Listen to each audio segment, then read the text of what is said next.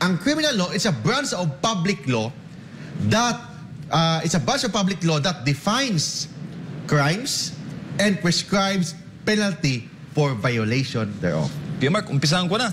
Ano bang ibig sabihin ng criminal law? From the word itself, criminal. From from the word criminal law, may may, may nagsasabi, ah, nagtatanong sa mga law, mga law student, ano bang gusto mo? Mag anong klaseng lawyer ang gusto mo? May isa na sabi, I want to become a criminal lawyer. Oy.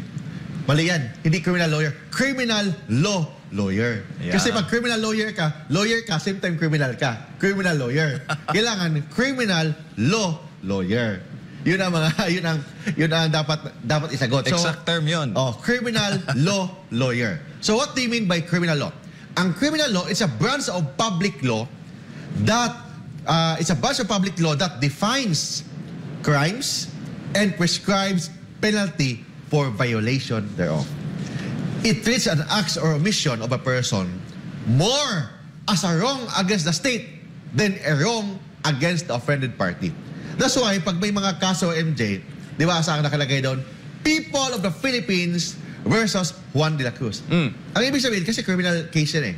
Ibig sabihin doon MJ, pag people of the Philippines versus Juan de la Cruz, ibig sabihin, ang complainant is already the state, the government represented by the by the prosecutor. That's why people of the Philippines.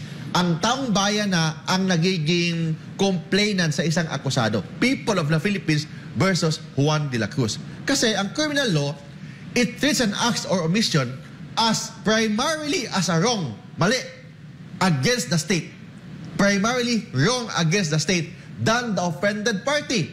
Ang offended party na criminal case, they are just complain, they are just complainant witness.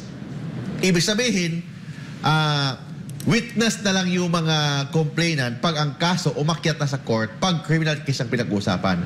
The primary complainant is the people of the Republic of the Philippines or the state represented by the city or the municipal or provincial prosecutor Mabigat to kayo, Mark. Against the state. against the state. Laban sa batas. Ah, laban sa bansa. laban sa bansa. Pag criminal case ang pinag-usapan. Mm. Unlike kasi sa civil case, for example, mag-file ka ng annulment of marriage, Maria versus Pedro. Civil case lang, dalawa ang pinang nag-uusap about may utang, collection of sabubani, Pedro versus Maria. Mm. Nangolekta ka, nangolekta ka ng utang. Pedro versus Maria. Pero pag dinimanda mo yung isang tao ng, for example, ah, corruption, people of the Philippines versus Pedro. Ang ibig sabihin doon, it is a branch of govern of law or a public law that treats an act as a crime or a wrong against the state more than a wrong against the state than a wrong against the private offended party. Kuya Mark, na pag-uusapan natin yung criminal law. Ano bang mga halimbawa ng criminal cases? criminal cases. For example, mal- malversation of public funds. Uy. Corruption. Uy. That's, that's, that's plunder. Rape. Uh, yung tinatawag na homicide. Murder. uh, bribery. Ang daming kaso. Uh, yung tinatawag na adultery. Concubinage. Estafa. Swindling. Yung murder. Murder. Yeah. Kasama yun. Ah, yung physical injuries. Ah, infliction of physical injuries. Yun ang mga, yung tinatawag na arson. Yan. Oh, yun ang mga pag-usapan natin in the near future. Ano yung isang-isang mga provisions na batas about the criminal laws. Naku, marami, marami ito kaya Mark. Yes, tama. Talagang malalim ang Oh, pag-aaral. malalim, but of course, interesting. Lalo na yung mga gusto maging lawyer and yung mga ah, may planong gumawa ng krimen, huwag niyong gawin kasi alam nyo ano yung mga consequences kung manood kayo ng Pinoy Legal Minds. Kuya Mark, pag ah, nag-aaral ka ng law, kumukuha ka ng abogasya, anong year to pinag-aaralan? First year. First year? First year. Ah. Ah, basic.